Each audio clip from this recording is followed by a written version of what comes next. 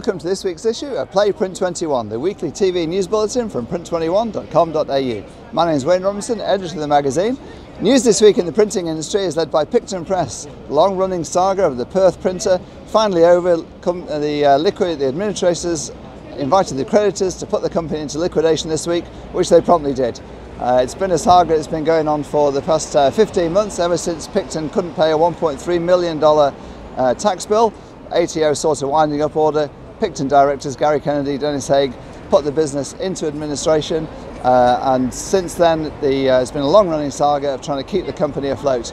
Uh, primarily through a very controversial financial uh, piece of engineering, the DOCA, Deed of Company Arrangement, under which uh, the uh, administrators, the company was going to pay the ATO one between one cent and two cents in the dollar, while get the creditors who were pay, who were owed less than ten thousand dollars and the employees would get hundred cents in the dollar. They all voted for the DOCA, of course, to get the 100 cents. The ATO was outraged, enraged, and has spent, spent the last year fighting, or last almost year, uh, fighting the proposal through the courts, been numerous court appearances, um, because they simply refused to accept it. All the other printers in Perth, of course, are up in arms, infuriated. They're saying Picton is paying one cent in the dollar to the ATO and to the paper merchants for that matter. We're paying 100 cents in the dollar. How can we possibly compete? Uh, anyway, the upshot is, at the end of it, uh, Picton is no more, it's now dust, uh, the company's gone broke, it's in liquidation, and uh, with debts of more than $10 million, 6.8 million secured debts, 3.5 million unsecured. Unsecured creditors likely to get very little. There is a press there that's worth a fair bit. Um, uh, banks got some uh, say on that, but it'll still be still be some money coming, but not much else. Tough news. Tough news for all printers because the paper uh, insurers who insured the paper uh, they will be up for a big hit there and that will impact on the rest of the printing industry as it always does. Paper merchants are, uh, are struggling to get insurance these days or will struggle to get insurance. Uh, other news from the uh, printing industry, also in liquidation, Sydney Allen company went broke three years ago.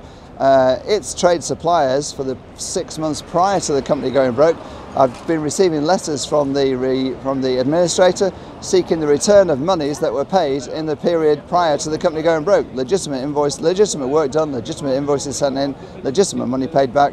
Under a uh, scheme under the Corporations Act, the, the administrator, liquidator can try and reclaim that money. It's called uh, unfair preferences claims set up originally to prevent directors from paying monies to their wives' companies, their mates' companies when they know the company's going broke. But tough news. You, uh, you do a job, get paid for it, three years later, someone wants that money from you. Tough news for printers.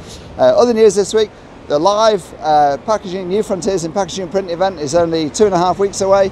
Uh, we've got a great show going on there. Campbell Arnott's will be doing a, a demonstration of AR, augmented reality with print on one of their snack brands at the show uh, from an app that's only available at the show to show printers how they can in incorporate AR. That whole show is going to be great. Go to print21.com.au for all the details on live new frontiers in packaging. That's it for this week. Uh, go to the website print21.com.au. Uh, you read my full analysis of the Picton story and plenty of other news there as well on the printing industry.